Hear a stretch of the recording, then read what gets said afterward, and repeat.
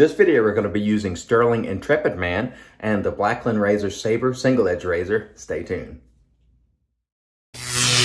Hey there folks, welcome back for another video. I'm your host CDB and thanks so much for joining me today. I really appreciate it. And as mentioned before, today we're gonna be using Stirling Intrepid Man, which has a nice scent. Um, oh man, what a beautiful scent on this. I'm gonna put the notes for you right on the screen there. We have um, cinnamon, sandalwood, juniper, orange, um, ginger, vanilla.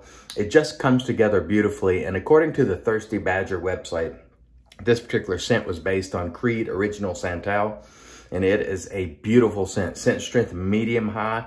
The cost on this, you know, is superb. It is sterling. It is $13.75 for 5.8 ounces or $2.37 an ounce on our cost chart. This is a tallow base soap. We'll show you the ingredients on the screen there. Really good stuff with Stirling. You know, you're always getting a good product, a consistent product, and I like it a lot. The consistency, by the way, is it's soft, but not goopy soft. You can, you know, press down a little bit. Um, I would call it sort of almost to firm, but not quite to firm. No problems lathering whatsoever. It's not finicky in the least, and I always get excellent lathers out of Stirling every single time. The razor for today is the Blackland Razors Sabre, which is a gem style single edge razor. And this runs about $185. It's all stainless steel, 303 stainless steel made in the United States. And I have the uh, two plate, which is 0.9 millimeters blade gap. Blackland rates this as 5.5 out of 10 in aggressive, in aggression, I should say.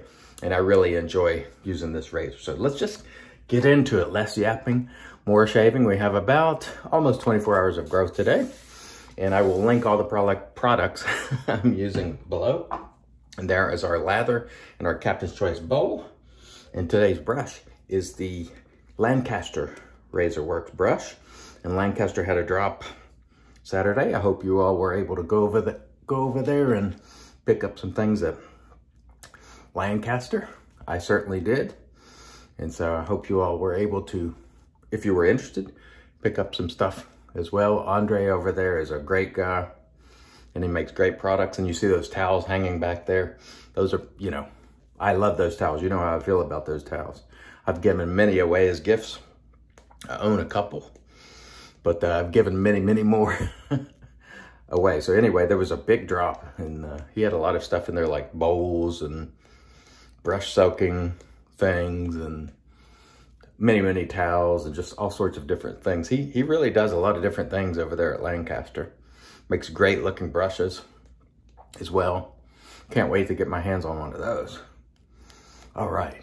Well, I already have one right here, but this is an old one. Um, I do enjoy using it. This one has a cashmere synthetic knot in it, which is awesome. And I enjoy using this one a lot. Okay, enough with the lathering. Let's set that down there and get down to business with our saber.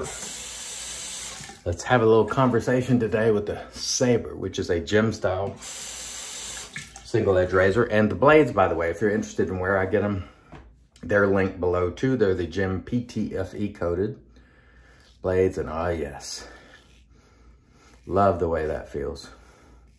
Nice and smooth. There's some good heft to this razor as it is stainless sort of built like a tank. And the next time I use it, I'll show you again how it goes together and all that sort of thing if you're interested. But today, we're just gonna get right into it. I had a busy day in front of me, so don't wanna spend a lot of extra time today here. Oh man, that feels nice, super smooth. I think I have about four or five shaves on this particular blade. The gem blades, you get more mileage out of than your regular DE blade, or at least I do. I'll just keep using it until it doesn't feel um, super sharp and keen. And that's usually at least five shaves. Um, and most of the time a little more. And that can vary from user to user depending on your the type of beard you have and so forth. But I really enjoy using gem style razors. Some people don't. Um, the thickness and rigidity of the blades, some people just don't care for. They really prefer the wafer thin DE blades, and that's entirely okay if you don't dig it, but I do. I really enjoy this razor. It is probably in terms of, uh, art, um, not art, but in terms of gem style razor, it's my favorite razor. And I know there's a lot of great vintage gem style razors, but that this one for me, it just does it. I don't know. It's just something about it. It's smooth. That blade is in there very tight. Um, it just feels good in the hand. To me, it's fantastic. And I think I saw, um, or in fact, I know I saw John Shaves 101 using this just the other day. And I had this lined up as well. Man, nice razor here. Oh, and by the way, don't forget, this week, or more specifically, this coming Friday at 8 p.m. Eastern, 5 Pacific, on Real Talk on Instagram, Nate, Low Scent Scalator himself, and uh, Mel will be joining us from BBS Live, and that'll be just be a fun show. It'll probably go a little longer than usual because you know, with Nate and Mel, uh, it'll be hard to keep it to an hour, but we look to have fun with those guys. We like to catch up with Nate and Mel every few months or so and just have fun. It's fun just to do a sort of flippant show where you just have fun and, you know, we'll definitely be talking about shaving because any show that I'm part of, there's always going to be some shaving talk, you know. Um, but we look to have a good time and I hope you'll join us there for a good time as well. Man, this soap smells great, by the way. Stirling always lathers beautifully for me. And I have heard people before say that they don't find Stirling to be slick enough. And I would say to you, if that is the case for you, you need to find a way to work more hydration into it because when you do, it will be slick. Not many people have said that, but a few. And a few have also said they struggled with it and, they, and then they watched my lather tutorial which I'll link below. I always have those linked below. And uh, as soon as they lathered that way, they're like, oh man, it is slick. And I'm like, yes. Really, folks, hydration is the key to slickness. If you can get hydration in your lather without it being bubbly and airy, it's going to be very, very slick. And almost every soap on the market today that is reputable, almost every soap is going to be slick if you if you lather it in a way that gets hydration in it. If you've heard of the soap, and if people like the soap, and it's reputable, it will be slick. So if you have a soap that's not slick for some reason and it's reputable, chances are you need to work on getting the best out of it lather-wise. And you might have to change your methods a little bit I typically don't like to change my methods. I use the same technique all the time and it works for 98% of the soaps on the market. And for the soaps that sort of fall out of that, um, 97% I just don't use. but generally speaking, if you can get hydration in the soap and make sure it's not super airy or bubbly, it will be slick. And I can tell you right now, there is plenty of slickness here today.